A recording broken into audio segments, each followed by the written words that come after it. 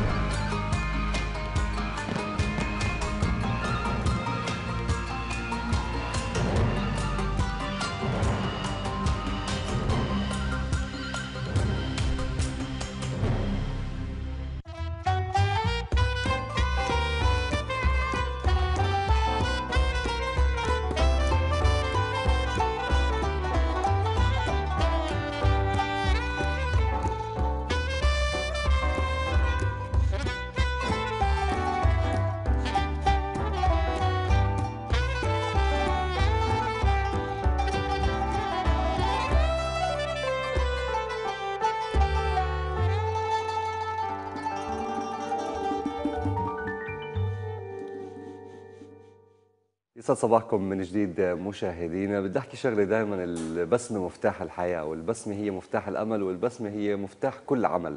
ولما تكون في عملك دائما مبتسم فتلقائيا حتى لو الناس ما كانت يمكن متقبلة عملك تتقبل العمل وتحبه وممكن تشتغله بسبب ابتسامتك. لهيك اليوم إحنا خصصنا فقرة آه، نكون ببسمة هالصباح ونشكر هالشخص على هالبسمة اللي دائما عودنا معها.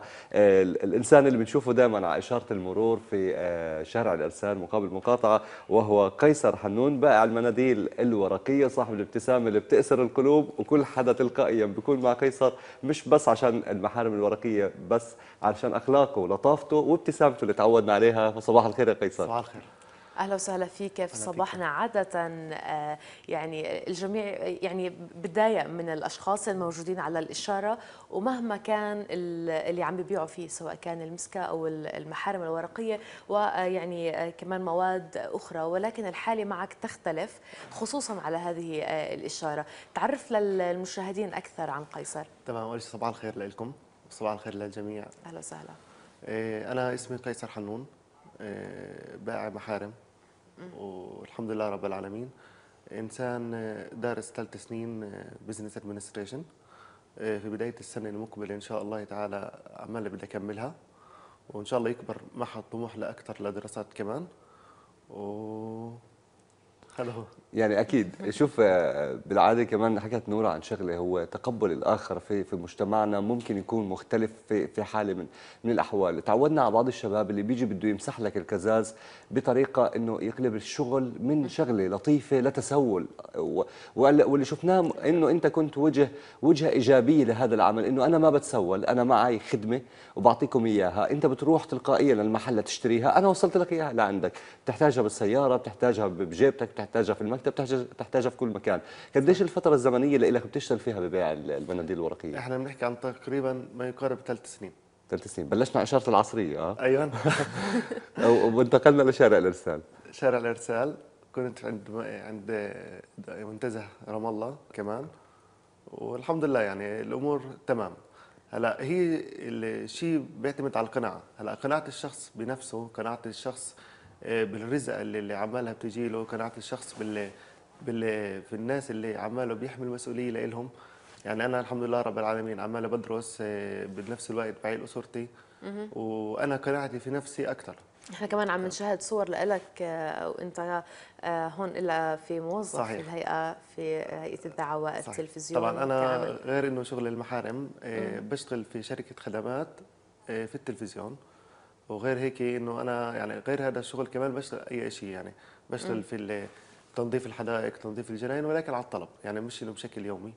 ولكن يعني أنا بشتغل أكثر من شغلة. هي شغلة الأولى والأخيرة مش المحارم. حلو كيف بتقسم وقتك كمان بين آه، كل هذا الشغل طبعاً. حتى بالنهاية آه، تلبي الحياة الكريمة لك صحيح. يعني إنه ال- الحياة إحنا بدنا نكيفها. إحنا ما بدنا نستسلمها. هلأ إحنا عايشين في في أي حدا في, في أي مشكلة أو في أي وقت إنه ممكن تطرح على البني آدم كثير مشاكل. وممكن إنه يوصل لمرحلة إنه حدا ييأس لا ليش نيأس؟ يعني أي شيء في الدنيا هو خير. إيه، نظرتك إيه، تفاؤلك إيه، في الحياة صدقني إنه في أشياء بتلاقيها شر ولكن جواتها كثير خير.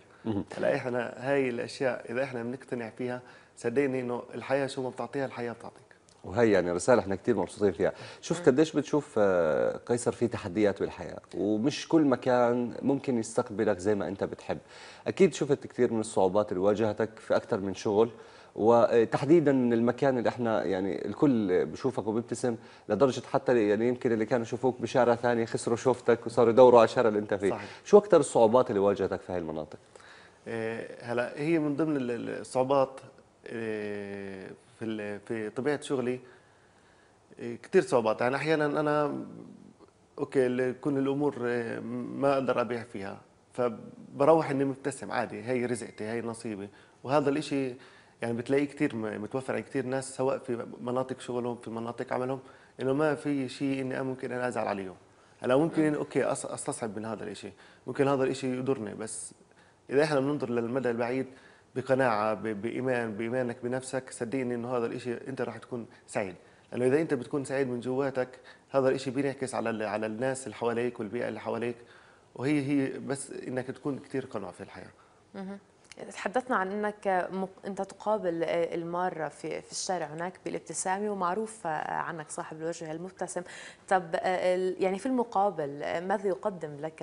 ما بدنا نقول عن عملية البيع والشراء للمحارم ولكن عملية التواصل الجسدي ربما بين المارة وبينك أنت. هلا شوفي أنا يعني الحمد لله إنه بطبيعتي هيك. إنه أنا بطبيعتي عمالي أنا بتواصل مع الناس زي ما أنا.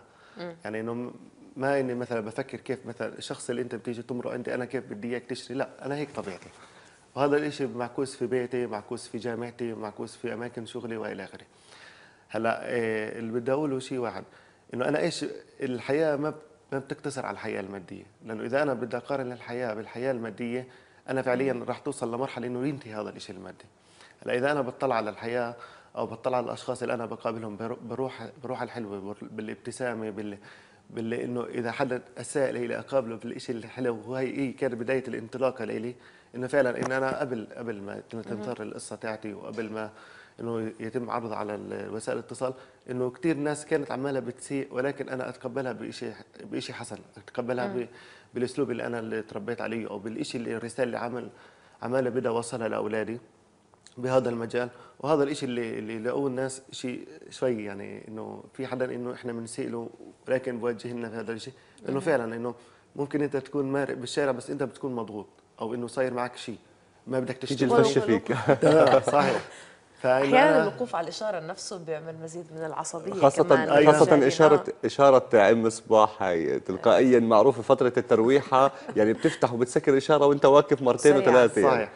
وحتى أنا الحمد لله يعني غير إنه في هذا المجال إنه يعني إنه أنا مقتصر لأن أنا فعلا بحب البلد بحب أولاد البلد بحب الناس فعمال بظهر لهم الشيء الشيء الحسن أو بحاول أظهر لهم إنه إذا بلاقي منهم تصرف سيء بحاول إني أغيره بطريقة كثير حلوة. يعني هي كثير أنا عمال بعملها يعني وكثير صارت في هي الشيء هلأ من ضمن الأشياء اللي صارت جزء رح تستغرب أول مرة بقولها. هلأ انه بمروا كثير ناس أجانب بيشتروا. فبحاول أعطيهم سعر غير عن البلد يعني كيف؟ يعني بحاول أعطيهم يعني إنه حدا شيء free يعني مسك فبيتفاجئوا ليش؟ طب يعني هم متعودين على ال- ال- ال packet الأربعة أنا بحاول أعطيهم الاثنين بأربعة مع إنه ما مش مش بمربح ولا شيء ولكن بحاول إني أبرز للناس اللي برا أو الزائر اللي برا إنه اللي اللي حامل الكلينكس أو إنه الشخص اللي قدامكم هو صاحب رسالة مش صاحب إنه مادي أو صاحب إنه كذا فإنه بيتفاجئ. والله برافو برافو. عليك وصفق يعني. آه والله صدقني. شكرا كثير يا قيصر. بدي أحكي عن آه، لقائك مع السيد الرئيس واللي دائما بيدعم كل الشخصيات اللي في الوطن بكل أماكن عملهم. تحكي لي عن قديش أهمية هذا اللقاء في حياتك وقديش آه، أو شو هيك ال- الحوار اللي دار بينك وبين السيد الرئيس؟ لأنه نتعود عليها هي دائما منه بحب بابتسامة أيضا. صباح الخير. وهي الصورة على الهواء كمان.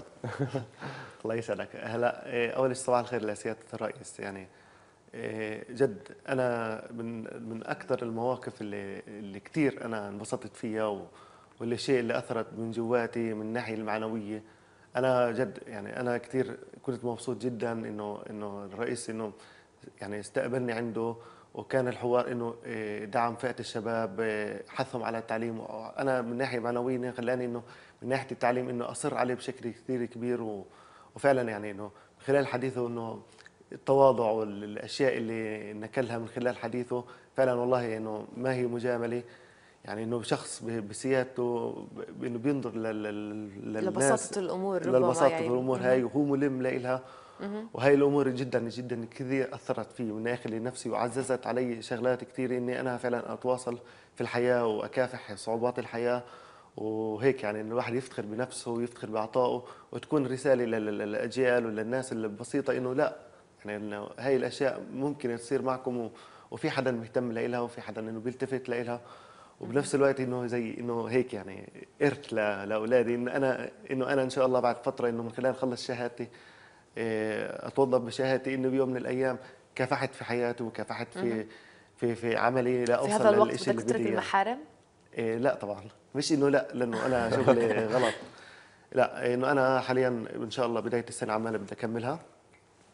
إن شاء الله من خلال شهادتي اللي أنا بدرس بزنس إدارة أعمال إن شاء الله بعد شهادتي راح أركز على موضوع ال- التجارب اللي أنا اكتسبتها في حياتي واكتسبتها بالشارع من خلال واعمل منها. شركة. طبعا إن شاء الله. طب يا رب. آه، قيصر بس بالآخر أنت متزوج عندك أولاد. أنا عندي الحمد لله رب العالمين. أول شيء صباح الخير لوالدتي أمي. الله يخليك. لاخواتي بصبح عليهم. الله يخليك. بصبح على زوجتي إيه، يعني شخص اللي الإنسان القوي جدا اللي اللي من جواتي اللي واقف معي على السراء وعلى الضراء اللي أنا بفتخر فيها. الحمد لله رب العالمين. لبناتي لسيدرا بداية صف أول ما ست شاء الله. سنوات. لبنتي تالا إيه، سنة ونص. وإن شاء الله بنتظر قومة زوجتي بالسلامة إن شاء الله. إن شاء الله تقوم إن شاء الله. بالسلامة ويخلي لك آه،. الصبايا وعائلتك كمان. الله يسعدك. كل التوفيق لك الله يخليكي أنا الحمد لله يعني أنا جد هدول أنا بشوف حالي فيهم. يا رب. وإحنا كمان بنشوف حالنا فيك وما شاء الله عنك ومن أحلى اللقاءات اللي مرت بحياتنا وجودك معنا قيصر. فكل. التوفيق أنا لك بتشكرك. الله يعطيك شكرا. لكم وشكرا للجميع. وشكرا للناس اللي بتشتري من عندي. الله يخليك يا ربي شكرا لك مرة ثانية ومشاهدينا إحنا أشرنا في بداية البرنامج إنه زميلنا إيهاب ضميري رح يطلعنا على الأجواء. في طول كرم من بعد الإفطار. خلينا نشاهد بهالمحطة آه، الصباحية كيف هي الأجواء في طول كرم تحية أكيد لكم أجواء آه، ما بعد الإفطار في محافظة طول كرم وتحديدا هنا في مدينة طول كرم أجواء جميلة جدا. آه، بنشوف الناس آه، بيذهبوا باتجاه الأسواق بالشوارع. بخرجوا إلى أماكن كثيرة ممكن يغيروا فيها جو وممكن كمان يتسوقوا خاصة أنه يعني في شهر رمضان أيضا يتم التحضيرات العيد. هون إحنا موجودين في طول كرم. في منطقة آه، ما تسمى شارع باريس أو معروف كثير للناس بأنها شارع باريس هو شارع تجاري من الشوارع التجارية في طول كرم خلينا نشوف الأجواء نرصدها أكثر مع الناس نشوف آه، ما بعد الإفطار إيش بيعملوا الناس عادة إيش المواطنين أبناء شعبنا في طول كرم إيش عاداتهم إيش بيتصرفوا مع آه، هالأجواء الجميلة جدا هون في هذا الشهر شهر رمضان شهر الخير والبركة والإحسان. نتفضل نشوف هنا أحد المواطنين اللي هو يعني آه، بعد الإفطار آه، آه، واضح إنك أنت طلعت مع العيلة. احكي لنا شوي كيف أجواءكم؟ شو بتعملوا عاده بعد الإفطار؟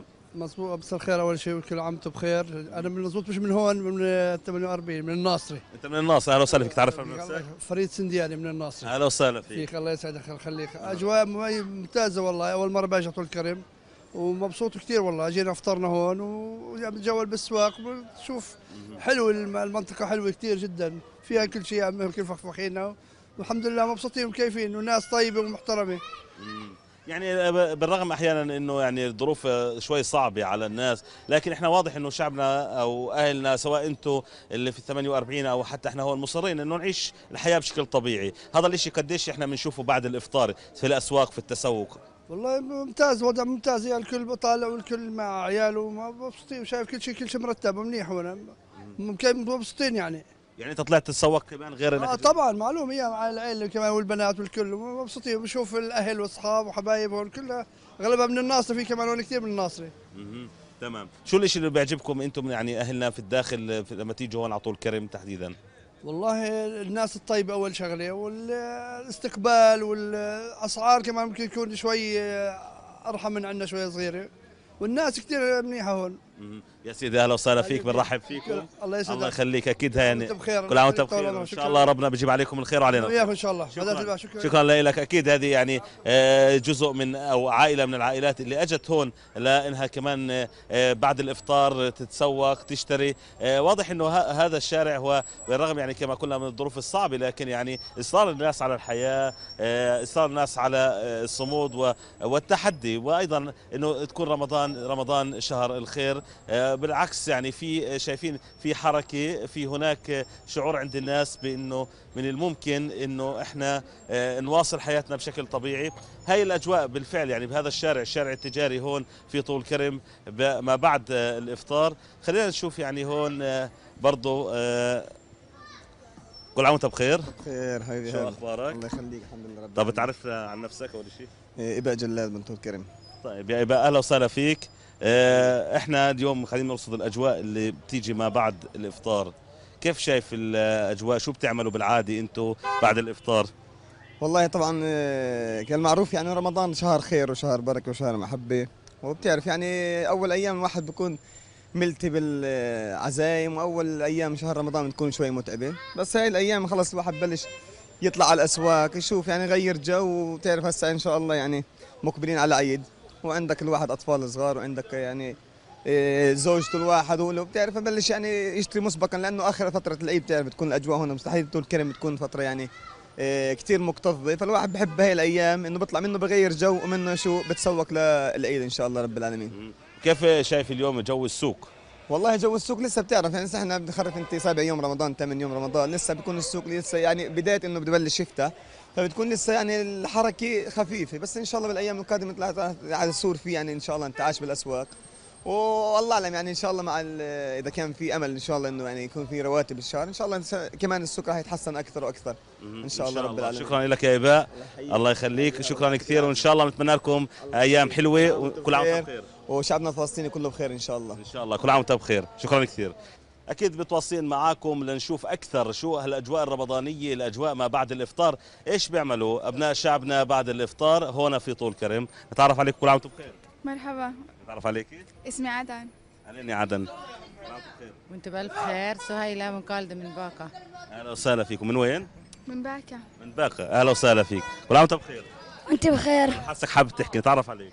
آه، صلاح فؤاد جبلك. أهلا وسهلا فيك. من وين يا صلاح؟ من باكا. من باكا أهلا وسهلا فيكم. كيف شايفين طول كرم بعد الإفطار؟ إيش بتعملوا؟ بتجنن. إيه حبينا نتجول فيها إنه إنه الأجواء مبينه رمضانية وحلوة واجتماعية. بالنسبة لي.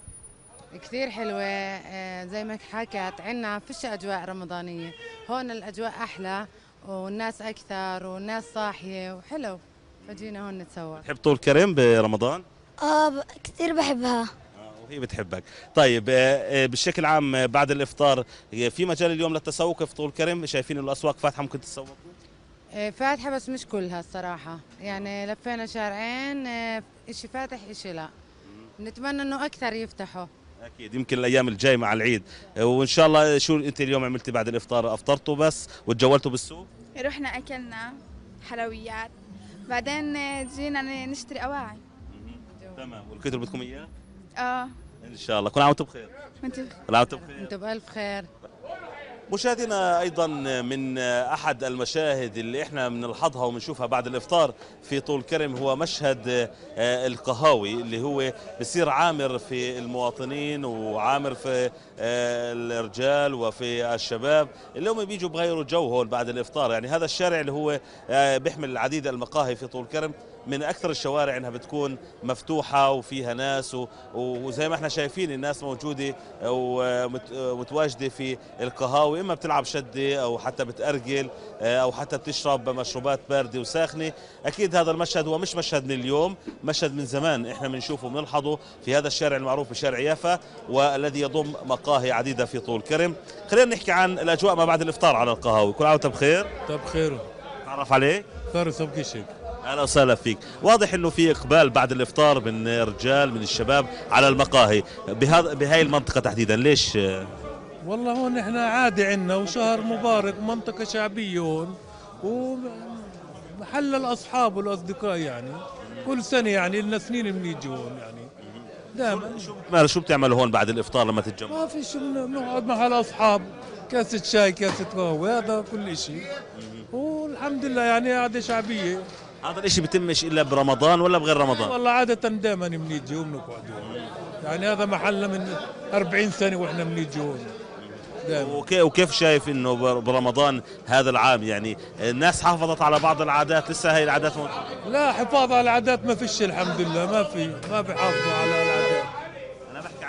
العاده عاده ال- القهوة بروحوا وبيجوا يعني هالعادة موجودة. يعني بعضهم بعضهم الأصحاب تقعدوا كل سنة. آه كل سنة دائما دائما مع بعض.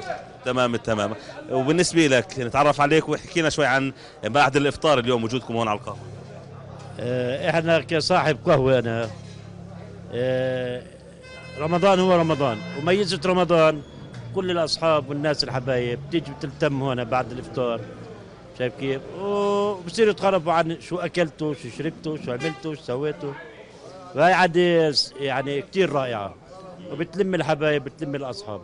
وربنا يهدي بال الناس يا ربي. طيب بالتالي يعني أنت بما كمان إنك صاحب قهوة أنت أبو عادل فطوم صحيح؟ صحيح صحيح. الله الله يسعدك. طيب يعني إحنا أنت كصاحب قهوة اليوم كمان شو شو طلبات أكثر الناس؟ إيش بتطلب الساخن بهاي الأيام ولا البارد؟ لا والله الساخن وبارد. بيطلبوا الساخن آه ساخن وبارد على الجهتين. على الجهتين. نعم صحيح. آه، هون مثلا بعد الإفطار أي ساعة انت بتفتح وقت ببلشوا الناس تزيد هون بعد الإفطار لغايه الساعة واحدة واحد اثنتين بالليل. بعد الإفطار مباشرة تبلش الناس تتجمع نعم صحيح صحيح صحيح. بعد الإفطار نعم نعم نعم نعم. تمام يا سيدي كل عام وأنت بخير. الله يرضى عليك أنتم بخير. واهلا وسهلا فيكم وينعاد عليكم وينعاد على كل المسلمين بالخير والسلام إن شاء الله. تسلم واكيد كل عام وشعبنا وفلسطيني وقيادته ممثلا بالسيد الرئيس أبو مازن بالف ألف خير. أكيد مشاهدينا يعني هي جزء من آه، أو مشهد من مشاهد ما بعد الإفطار في هون في طول كرم. مشهد مميز جدا ما بين سوق تجاري والناس اللي هي بلشت تتسوق وبلشت تروح للمحل التجاري وأكيد ما بين المقاهي اللي هي آه، تصبح آه، تعج بالمواطنين وبالزبائن خلال فترة ما بعد الإفطار حتى ساعات آه، قليلة ما قبل السحور. وبالتالي إحنا بنتحدث عن عادات أصبحت مشهد من مشاهد محافظة طول كرم في موضوع ما بعد الإفطار. أكيد لهون بنكون وصلنا لختام نافذتنا. بنتمنى لكم دائما يكون هذا الشهر شهر خير عليكم. كل عام وأنتم بألف خير.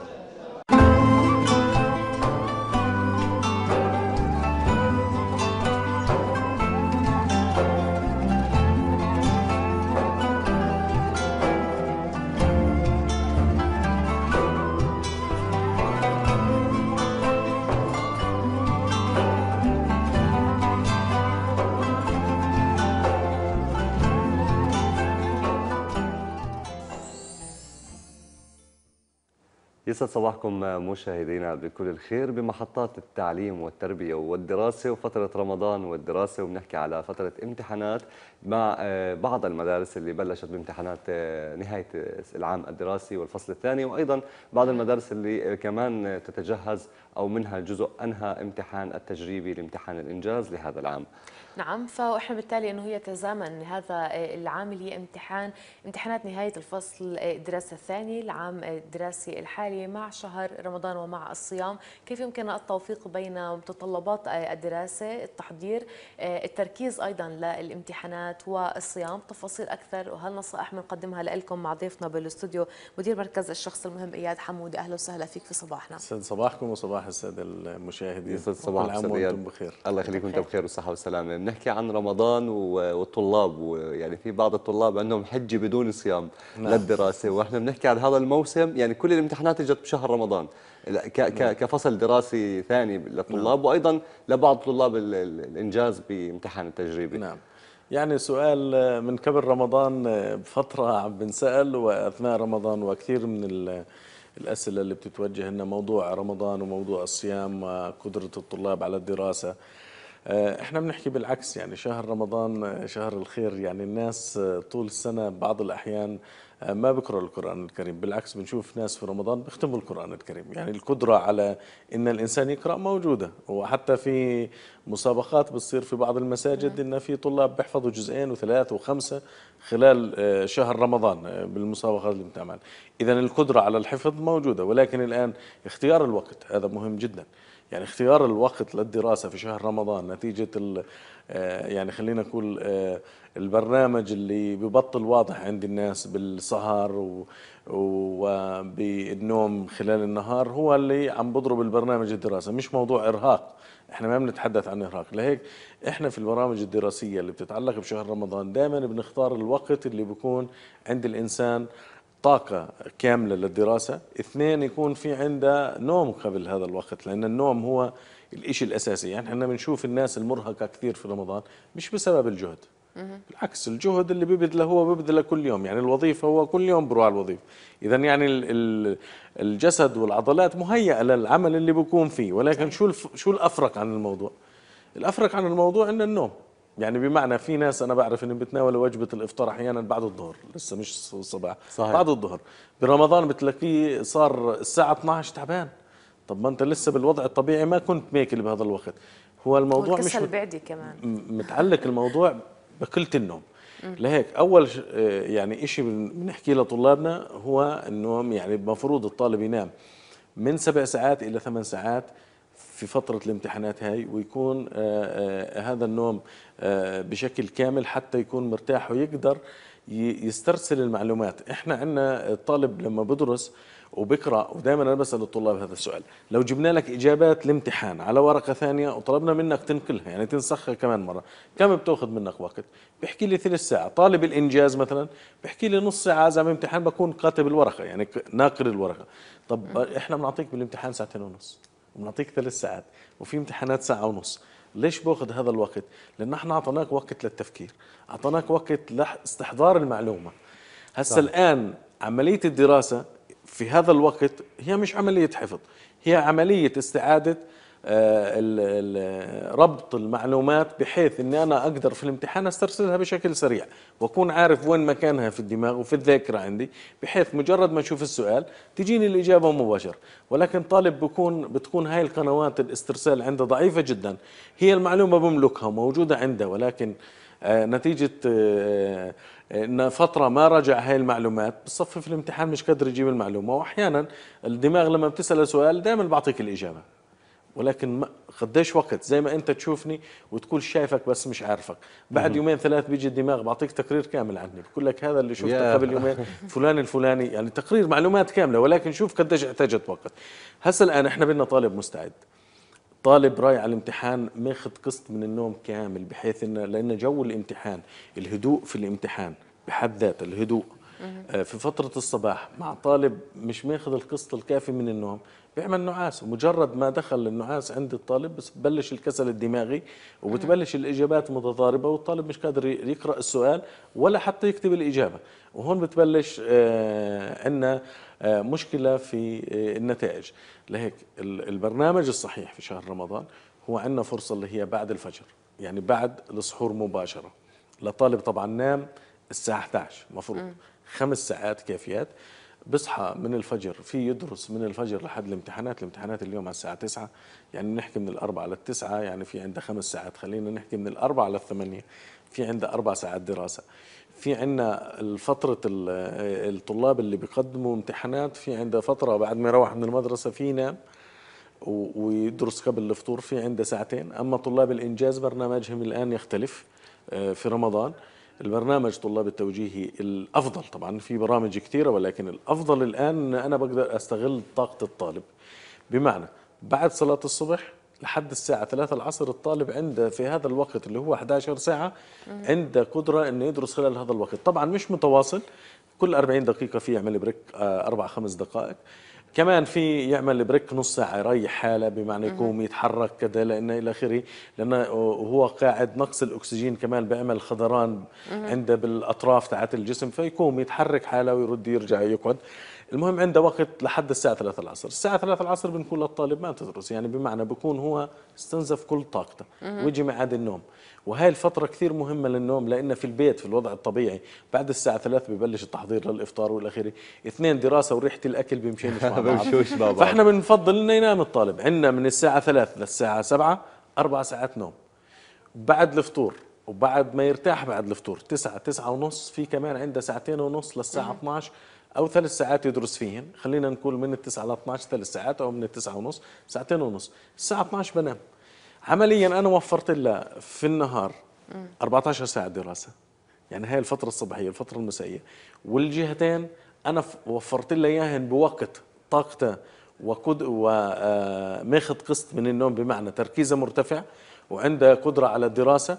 وأنا بنصح طلاب الإنجاز الآن نهائيا أي طالب من الآن فترة الصبح بنام فيها هو في خطر لسبب لأني نحن بدنا الفترة تحديدا ما بين الساعة 8 لحد الساعة 12 لازم الطالب يدرس بكل طاقته حتى يهيئ حاله ويعود دماغه على هاي الفترة. وأنا بفضل إن الآن طلابنا يبلشوا في هاي المرحلة يستعينوا بامتحانات من سنوات سابقة وأسئلة ويدرب ذاكرته في هاي المرحلة على الأسئلة. بمعنى إن هذا الوقت اللي بده يكون في امتحانات إذا تركيزي لازم يكون عالي فيها. يكون أما الطالب اللي الوقت. بنام نحن ما ننسى ان بعد رم بعد العيد مباشرة امتحانات التوجيهي يعني بمعنى إذا طالب تعود على فترة النوم الصبح بده يروح على الامتحان يقضيها طول الامتحان عم بالثوب وهي بتسبب. أما طلابنا اللي اللي هم اللي عندهم نهاية عام دراسي هلا هلا هذا هو بالضبط طلاب ال- ال- الصفوف الأخرى. آه، فنفس الشيء عندهم الفترة بعد ال- الفجر. فترة بعد ما يروح من المدرسة كمان في ياخذ قسط من الراحة وفي طلاب بفضلوا إنهم مباشرة يبلش يدرس. إحنا دائما بننصح الطلاب إن ما تدرس وأنت نعسان. يعني مهم جدا أهم شيء الآن في رمضان وأكثر شيء عم بيأثر على الناس كلنا مش الغذاء هو قلة النوم. فدائما ياخذ قسط كامل من النوم بمعنى يكون مرتاح عشان يقدر يركز في دراسته. الآن في أثناء الامتحانات كمان هاي نصيحة مهمة جدا لطلابنا الآن في القلق والتوتر والخوف هو اللي عم بيسيطر على حالة طلابنا اللي كثير بروحوا من الامتحانات وبيشكوا من فكرة أو من موضوع إني أنا نسيت كل شيء. مجرد ما شفت ورقة الأسئلة أنا نسيت هي هاي. الحالة النفسية اللي لازم كمان ترتبط ما بين الطالب هاي مرتبطة نعم مرتبطة بقلة الثقة عند الطالب بمعنى إنه هو أصلا طلع على الامتحان وهو مش واثق إنه خاتم المادة. فطول الطريق بكون هو خايف. يعني هو بدخل على الامتحان هو جاهز لهالحالة. وهو مهيئ حالة نفسيا إن أنا مش قدرتي أجيب علامة كاملة ومش قدرتي أحل أسئلة الامتحان. فمجرد ما يشوف الأسئلة بتفاجأ أكثر. وتحديدا لما بشوف سؤال واحد ما عنده إجابة. له أنا دائما بقول للطالب ريح حالك نفسيا في شغلة كثير مهمة. أنا في هذا الامتحان عندي سؤال مش عارف يا أخي احذف يعني أنا لما طالب بيجي بيقول لي ما هو أستاذ أنا كان في سؤال مش عارفه وهو وترني. بقول له كم كان عليه؟ 10 علامات وين ال منه. 90 يلا وين ال 90 صحيح. يعني أعطيني المضمونات. ال 90 يعني عندك سؤال ما تخليه يوترك. خليه للآخر. شيله من الامتحان. يعني اعتبر ساعة. اعتبر إنه مش موجود. بضل عندي الباقي. يعني الباقي أنا بعد ما احلهن برجع بعدين للسؤال. بكون ما استنزف وقتي ما وترني ما نساني لأن القلق والتوتر والخوف الثلاث عوامل النسيان. مجرد ما الطالب توتر في الامتحان مباشرة هذا الحكي بيأثر عليه سلبا. آه لطلاب الإنجاز موضوع القلق والتوتر لأن كثير بنشوفها في قاعات التوجيهي. بقولهم حلنا لا يتعدى الدقيقة في حالة حصل هذا الشيء. وتحديدا إن في بعض الأحيان بصير بشوف بالقاعة كليتها توتر. لما طالب بصير يبكي لما بشوف الأسئلة صحيح. أو طالبة. ولما كمان بتدخل المد- المعلمين أو مدير. القاعة بالموضوع وبتعرف بتعاملوا مع الطلاب زي أبنائهم وبصير آه، يدلل فيه وكذا. هذا الحكي بزيد توتر. الشيء بسيط جدا. اللي وتر الطالب هو الأسئلة. أنا بقلب ورقتي برجع بكرسي لورا وشيء طبيعي الإنسان لما بخاف بتقل كمية الأكسجين اللي بتطلع على الدماغ. لهيك بنحس إن الإنسان مجرد ما يخلص من الخوف أول حركة بيعملها دليل إنه كان مخنوق. يعني بطلع صحيح. نفس. فأنا بقول للطالب ارجع بالكرسي لورا اقلب ورقه الأسئلة دقيقة بتأخذ. بأخذ نفس عميق وبطلع نفس عميق وبطلع هذا النفس. أربع خمس مرات أنا غذيت الدماغ بالأكسجين. الآن أجي إعادة تهيئة الذاكرة لجلب المعلومة بهدوء. بمعنى ما بدخل على الأسئلة. أنا لما بخلص النفس بتذكر أي رقم تليفون حافظه بتذكر أي سورة من القرآن مثلا حافظها بمعنى أي سؤال بساله لذاكرتي بعيدا عن الدراسة آه. مشان أرجع أحفزها. أفعل أحفزها. أرجع أحفزها وأعطيها كذا بعدين إيش ببدأ يعني الآن كثير أنا في البرامج اللي بنعطيها بروح عند الأطفال اللي بتكون قدراتهم بسيطة بساله سؤال على مستواه بخلي الكل يسقف لبتشجع بعطيه سؤال أكبر ب- كمان بتغلب عليه سؤال أكبر كمان بتغلب لأنه من الأول شجعته بس أنا لو أعطيته سؤال مش من ضمن قدراته أنا بكون قتل. أكيد. أستاذ اياد يعني إحنا سعيدين هال هالفوائد اللي أعطتنا إياها ووجبة كثير مهمة وبنتمنى كمان الأهل والطلاب اللي يكونوا استفادوا منها وكانوا معها وإن شاء الله حيكون لنا كمان لقاءات خلال إن شاء الله. هذا الفصل. شكرا كثير لك مدير مركز الشخص المهم أستاذ اياد حمودة ومكملين معكم مشاهدينا محطاتنا الصباحية. خليكم معنا.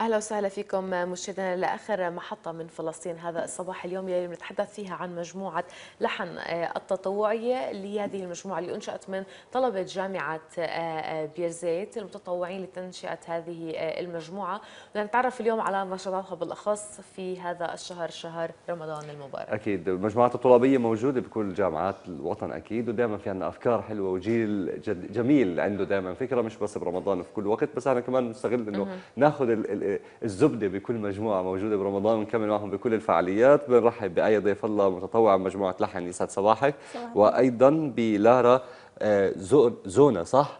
زونا. يسعد صباحك يا لارا وكل عام وأنتم بخير رمضان كريم. وأنتم بألف خير. أهلا وسهلا فيك. يعني تعرفون عن هذه المجموعة اللي هي آه، أنشأت من العام الماضي من من شهر سبعة أبرز آه، نشاطاتها انضمامكم كمان لإلها.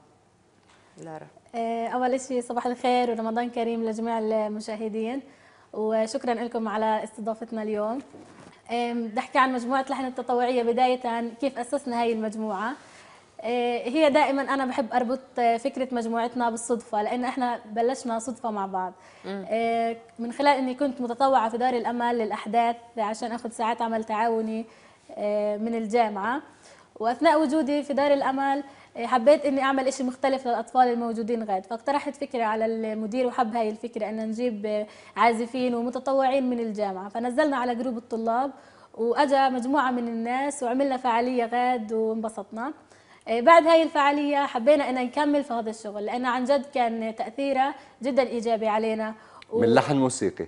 آه وسميناها لحن لأن بلشنا معنا آلات موسيقية يعني عملنا أشياء للأولاد اللي غاد آه فمن هون كانت فكرتنا.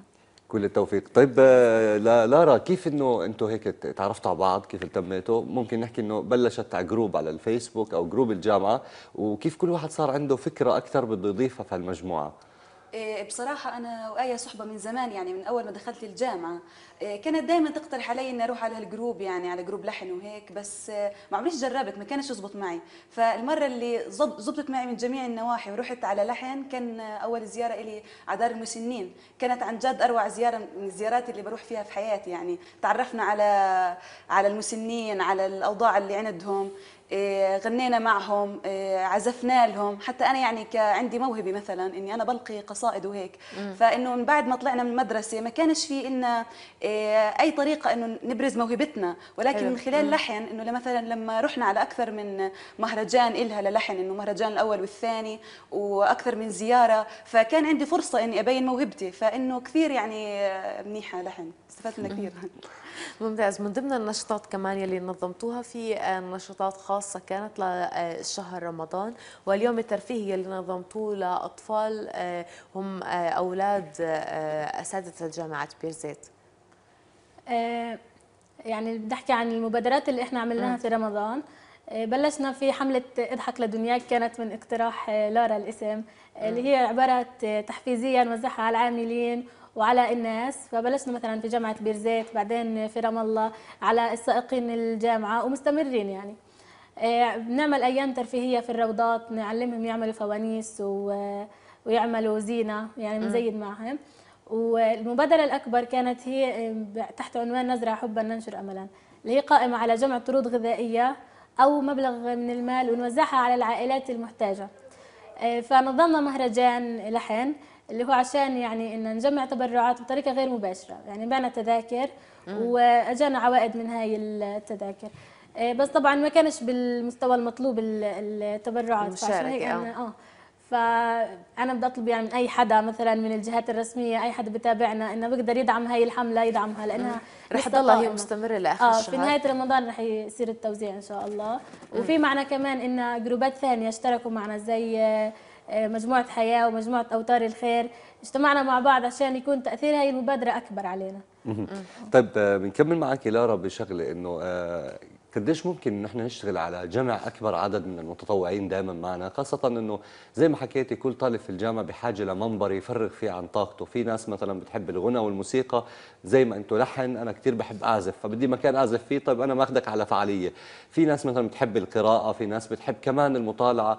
قديش ممكن إنه أنتم تجذبوا قبل ما تجذبوا تبرعات تجذبوا كمان متطوعين وناس لتكون معكم بهي المجموعة؟ هو يعني مثلا إنه ناس بتحب القراءة وهيك في عندنا في الجامعة نادي الكتاب حتى أنا مشتركة فيه.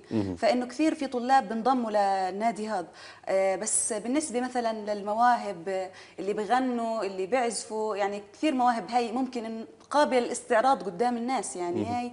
هاي المواهب إحنا بنركز عليها أكثر لأنه مثلا أنت واحد بيقرا مش راح مثلا تقول له اقرأ قدام الناس بس إنه مثلا واحد عنده موهبة غنائية إيه، شعرية إلى آخر ذلك بإمكانه يفرجيها للناس ويجذب انتباههم فإحنا نستغل هاي المواهب في المهرجانات اللي بنعملها علشان نلم تبرعات ونتبرع فيه للعائلات المحتاجة. فهاي الحملة اللي بتحكي عنها إيه، اللي هي برمضان إنه إحنا ركزنا على العائلات المحتاجة كثير وعينا قائد على كل منطقة مثلا القريه هيك إنه أنت احكي لنا الناس المحتاجة فعلا مش الناس اللي هيك رياء قدام الناس. فإنه أنت اعرف لنا إياهم عشان نعرف إحنا وين نوصل المبلغ المناسب للمكان المناسب.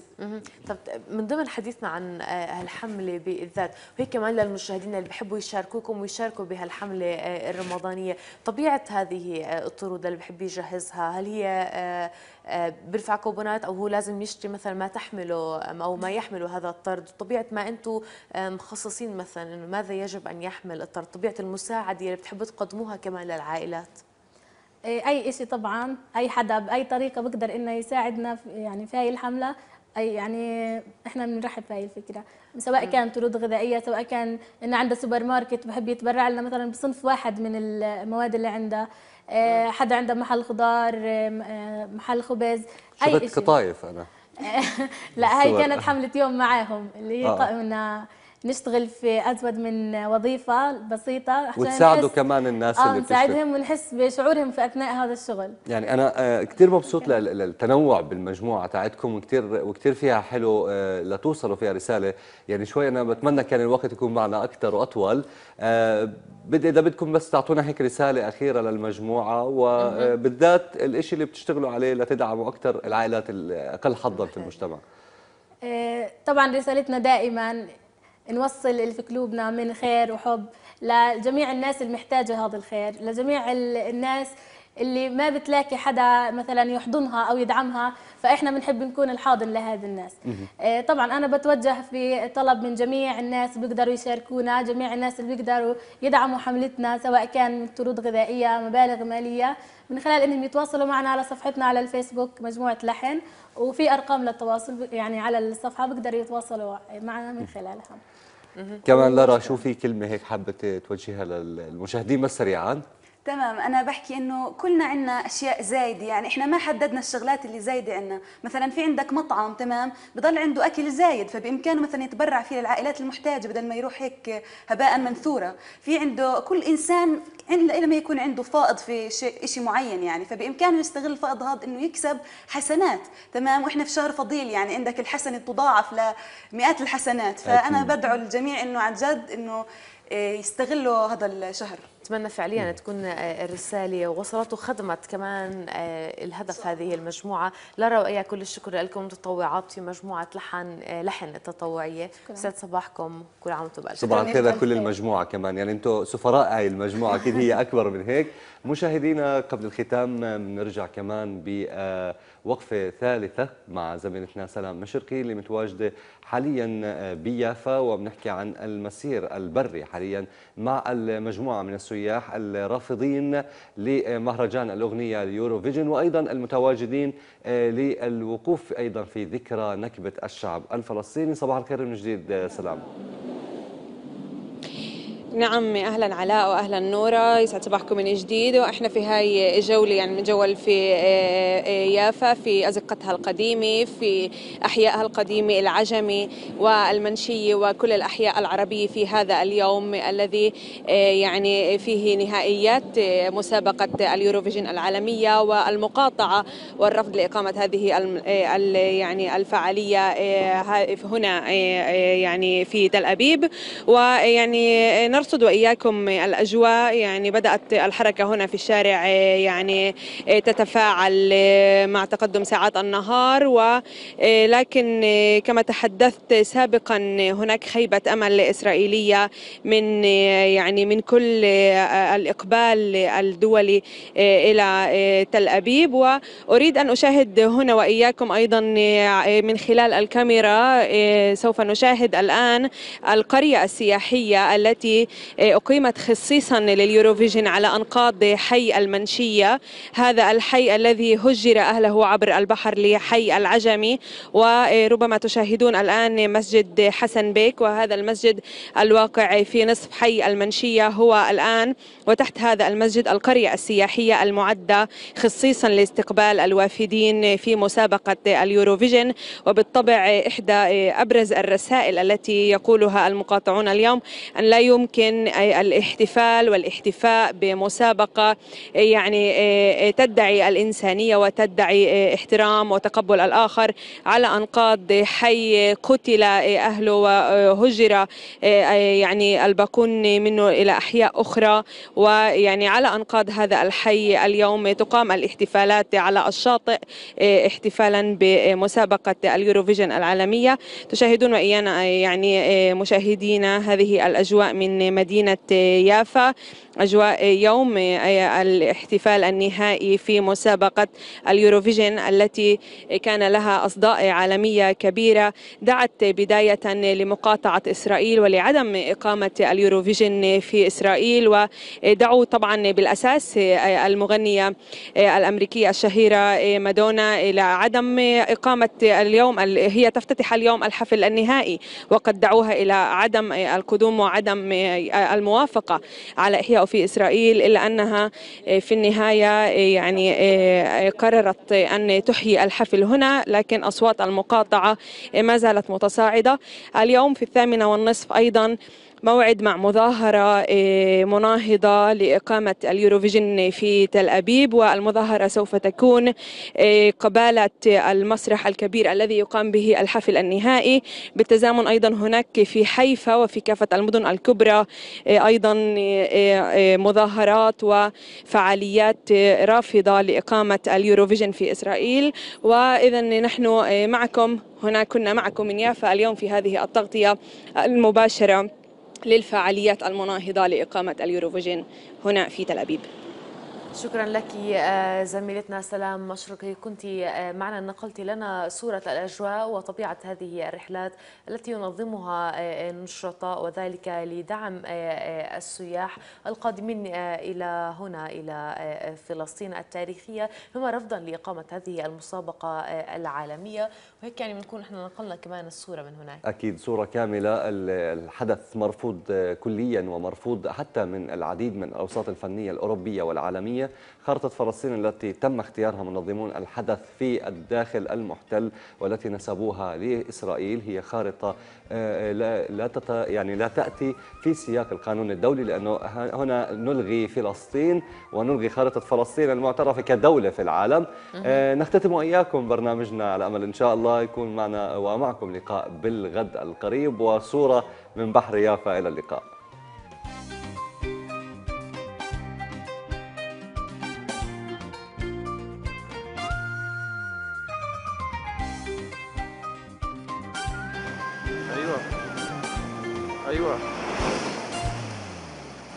أيوه أيوه سامعك يوسف